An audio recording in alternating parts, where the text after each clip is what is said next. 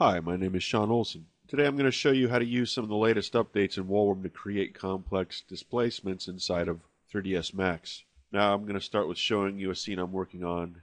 I'm building this in Max, but this is an exported scene in Hammer. And we've built all these displacements you can see through here inside of Max, including exporting all the textures. And this is the kind of thing we're doing. Now, traditionally with Wallworm, there's been a method of creating displacements that's way different than the way you would create them in Hammer. And a lot of Wallworm people have had problems with that. So we're going to go over some of these things. So first thing, we're going to open up Anvil. It's under Wallworm, Wallworm Anvil. The second thing I want you to do is make sure that if you're following this tutorial, make sure you're using version 3.31 or later of Anvil. If not, you should go get the latest one so that it has the same exact features and works the same as what I'm demonstrating. In the Displacements tab of Anvil, you'll see this group of controls called Create Displacements. These allow you to create displacements. Now, traditionally in Wallworm, you would create them with this Create Displacement Helper. Whenever you click this, it would create a displacement wherever the helper is, and if there had been no helper in the scene, it would create one automatically. So the next displacement I add will be at this helper. In the center, the origin of this helper is going to be the center of the next displacement.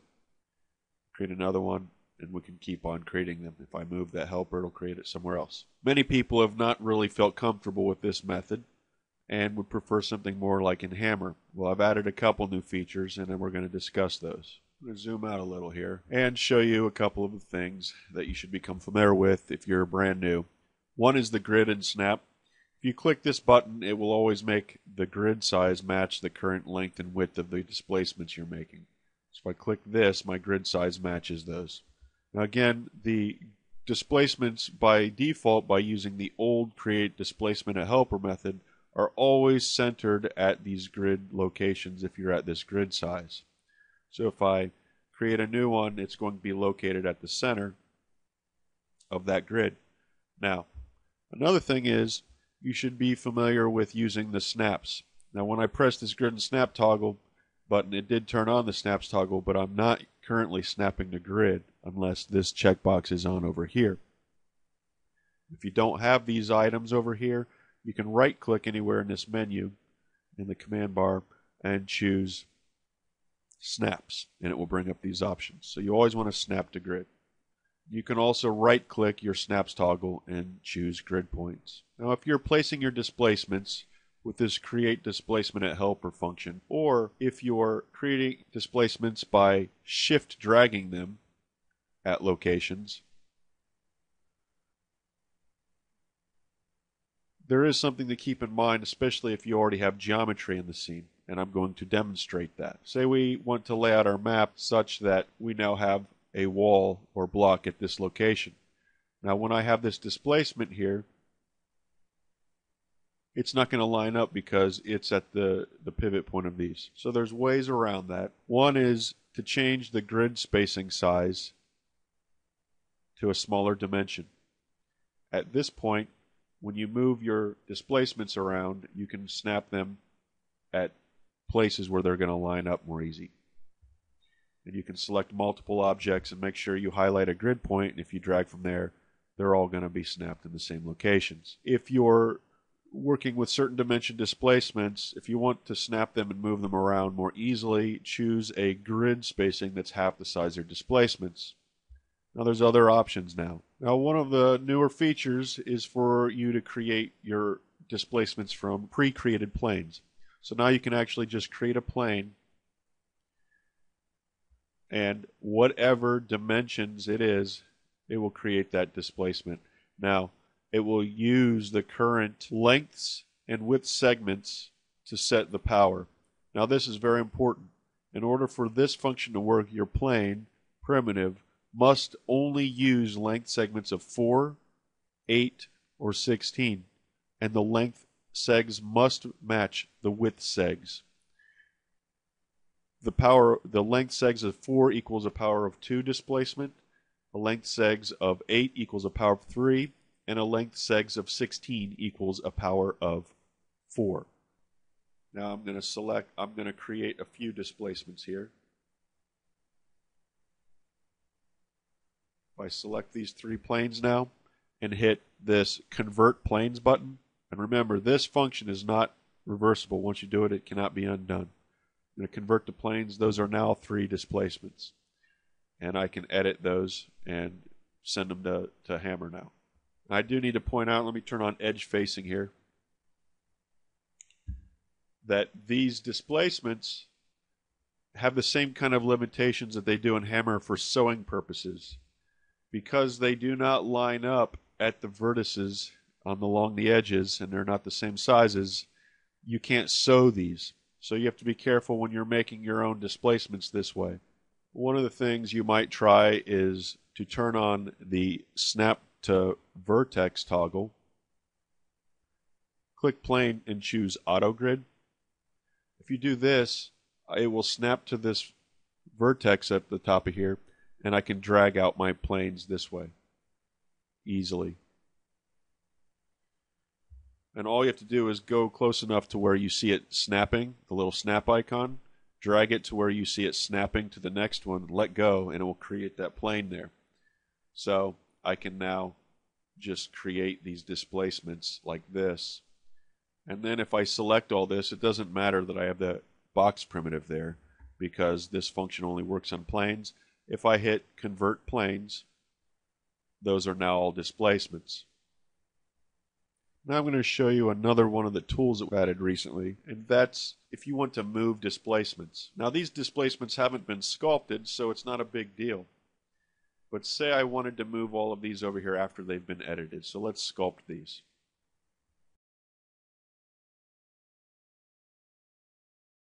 So now one of the problems is moving this object, if you wanted to use snapping to vertices, no longer really makes it valid because you can't line up this object to be lined up in the same grid planes as you could previously. So there's this new move mode. If you click move mode, it's going to show the underlying brush faces basically and allows you to move them as if they were flat. So if I take this and move it over here, it doesn't matter how I had already sculpted it. Go out of move mode and now they're moved. And the reason you'd want to do this is mostly for ones that you've already sculpted. It's hard to move them and get them lined up correctly. And now that they're here, and since they're lined up correctly, I can actually use the sew command to sew them. Again, if they're not lined up, if the underlying brushes are not lined up vertex to vertex, the sew command does not work. It's very similar to the way it works in Hammer. So now let's go to the next way of creating displacements. And what we're going to do is create some more boxes to denote geometry. Okay, so we have this geometry, and we want to create displacements from these. To do that, there's a couple of options here. And I'm going to show you the different ways to implement these and the current limitations that they have and how to fix and deal with them. If I want to do specific faces on all these, kind of like in a Hammer where you pick faces and then convert them into a displacement, what we'll want to do is apply a poly select, a poly select modifier to the selection. You can select them all at once. And then I'm going to say I'm going to want to turn these all into displacements. Now, when you use this function, I'm about to show you the displacements that you create here are going to have the power, the power of the current displacement settings inside of Anvil. So if I have these at power 2, all of these are going to be power 2 that fit these faces. What I want to do is click this faces to displacements. If I click this, it will create a displacement on every face.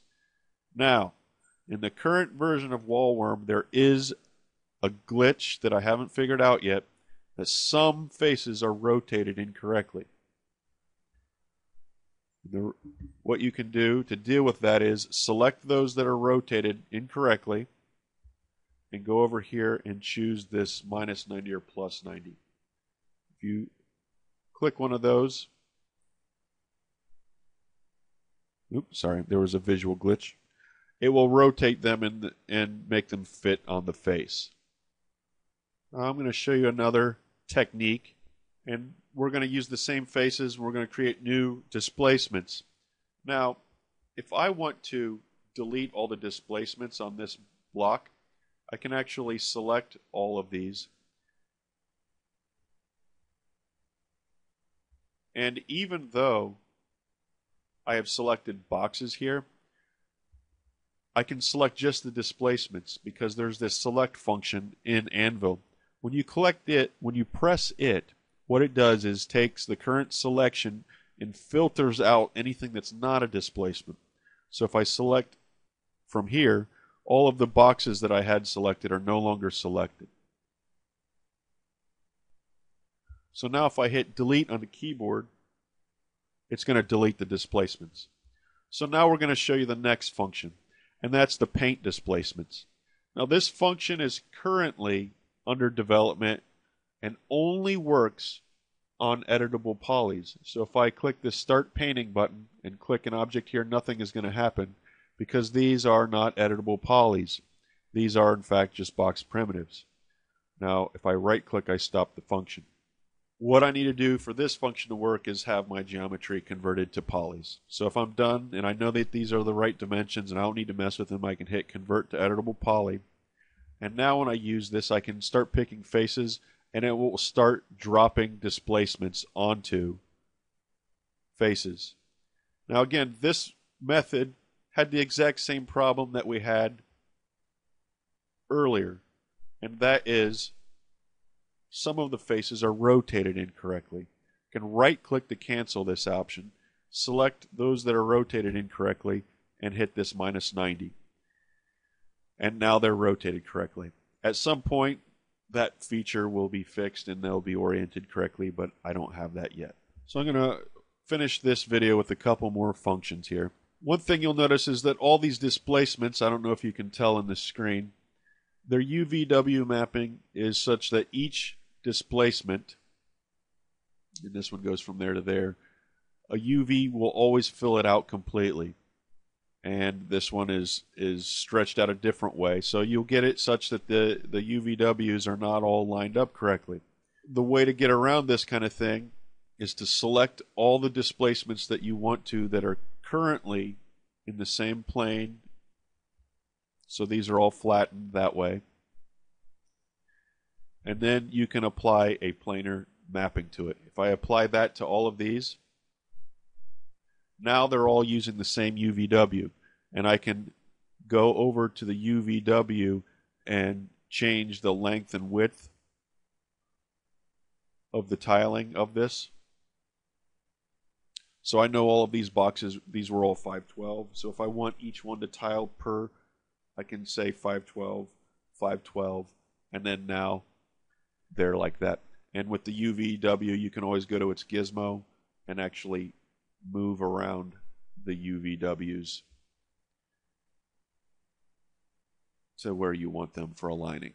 There are limitations because you have to find ways to map places that are uh, perpendicular. We can't apply the same UVW map to this face because it's not going to have the same projection of the UVW. So you'll have to learn techniques in Max to deal with those circumstances. Before I go on from there, I need to make this very clear that for displacements, you will never want to use anything at all other than planar UVWs. You can potentially also use box, but I would stick with planar as much as possible. Do not use cylinder, spherical, shrink wrap, and all these others. And do not try to use the unwrap editor unless you're keeping everything in filling up it in one UV space. So finally, what I'm going to show you is a function in the Anvil to lock the displacements. Right now, I can move this displacement however I want. However, I may come to a situation where I'm done with the displacements. I know they're exactly where they need to be. If I don't want to be bothered with worrying about moving them, I can select all of these and choose the lock function. All of the ones that I selected are now locked, so they cannot be moved. No matter where I try to drag it to, it cannot be moved. This is very convenient if you don't want to have to worry about accidentally selecting and, and messing them up. So if I select these objects, I can move those ones, but I cannot move my displacement. Now we haven't covered everything in the displacement tools, but there are some other videos and docs on using those. and I'll fill them out later. But for the moment, that's the end of this video. Again, my name is Shawn Olson. I hope you learned something and find this useful. You can find more about the Wallworm tools at wallworm.com, and you can learn more about me and various other things that I do at shawnolson.net. Thank you, and have a good day.